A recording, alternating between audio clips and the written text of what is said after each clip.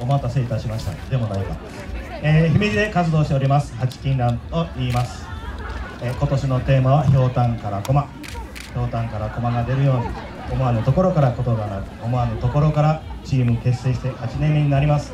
まだまだ人数は少ないですがこれを機にまた一緒に踊りたいなという人があればお声掛けの方お待ちしております。では参ります。八金蘭構え。